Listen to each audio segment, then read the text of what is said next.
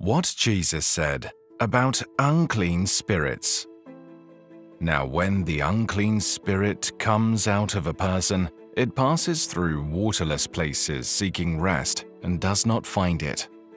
Then it says, I will return to my house from which I came, and when it comes, it finds it occupied, swept, and put in order. Then it goes and brings along with it seven other spirits more wicked than itself, and they come in and live there. And the last condition of that person becomes worse than the first. That is the way it will also be with this evil generation. Matthew 12, verses 43 to 45. In context, the main point of Jesus was the seriousness of rejecting him completely as the religious leaders had done. However, the illustration reveals some interesting principles of demon possession and the fact that Jesus considered it a real phenomenon, not just a contemporary superstition after Jesus met the challenge of the scribes and Pharisees about giving them a sign to prove that he was the Messiah and his historical rebuke of their lack of faith, he returned to the topic of evil spirits. Jesus lets us know that the demon passes through waterless places seeking rest and does not find it. Although we are unsure what Jesus means by waterless places, but from the context it seems to apply to being in a state of not being in a man. This may allude us to the fact that a human body majorly consists of water. As it passes through these waterless places without inhabiting a human, the unclean spirit cannot find rest. The rest it is seeking appears to be to possess another man to torment.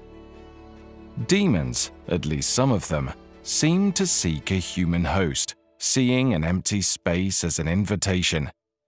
Popular Bible commentator Matthew Poole stated, The devil cannot be at rest where he hath no mischief to do to men.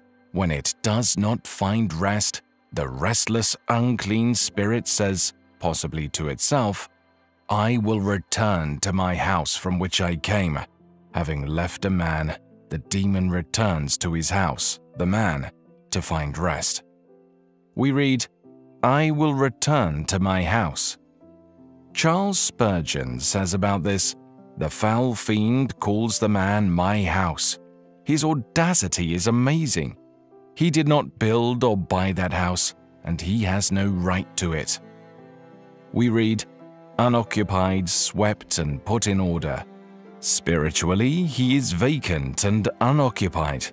To indicate that the man is ready for reoccupation, Jesus says the house is swept and put in order. His house is prepared to be moved into once again.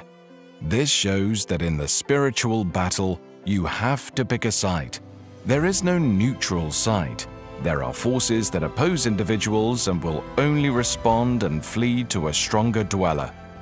In spite of this, the unclean spirit doesn't immediately enter as we might expect. It goes and takes seven spirits who are more wicked than itself with it, and they enter, and then they all possess the man together. Perhaps this restless demon who has been expelled once recruits reinforcements to better ensure his ability to remain in possession of this house. Instead of being agitated by one unclean spirit, the man is now afflicted with eight evil spirits. As Jesus points out, that man's last state became worse than his first. It is terrible for a man to be the host of one demon. However, being the host of eight is worse than being the host of one. Afterward, Jesus compares this demon-possessed man to the present generation of evil Jesus also makes the point that having a clean house and orderly space is nothing to a demon if there is no one protecting that house. The fact that Jesus cast out demons showed us that Jesus is more powerful than unclean spirits. Even the disciples using his name cast out evil spirits. Mark 3 verse 27, New American Standard Bible. But no one can enter the strong man's house and plunder his property unless he first ties up the strong man, and then he will plunder his house. His miracles signified the downfall of Satan. Satan is the strong man, the house is his dominion. He is the God of this age. His goods are the people over whom he holds sway. Jesus is the one who binds Satan and plunders his house. The allegory prompts us to remember the prologue, where John announced that one who was more powerful than he would come. It turns out that he is also stronger than Satan. Matthew 10 verse 1 Jesus summoned his twelve disciples and gave them authority and power over unclean spirits to cast them out and heal every kind of disease and every kind of sickness. The passage is parabolic in nature drawing on real-life situations to tell a story to make a point. It has relevance for the generation as a whole because it is instructive for individuals as well.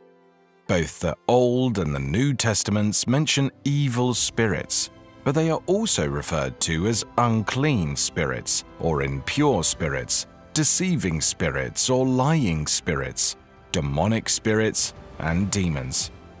Evil demons are always malevolent supernatural beings. Evil spirits work against God, but the Bible also tells us that in His sovereignty, God can choose to use evil spirits to carry out His plans and purposes, demonstrating that He is the supreme ruler of the universe. While evil spirits exist as part of the hierarchy of evil, with Satan as their leader, they lack the ability to completely reject God's rule. Ephesians 6, verse 12 For our struggle is not against flesh and blood, contending only with physical opponents, but against the rulers, against the powers, against the world forces of this present darkness, against the spiritual forces of wickedness in the heavenly supernatural places.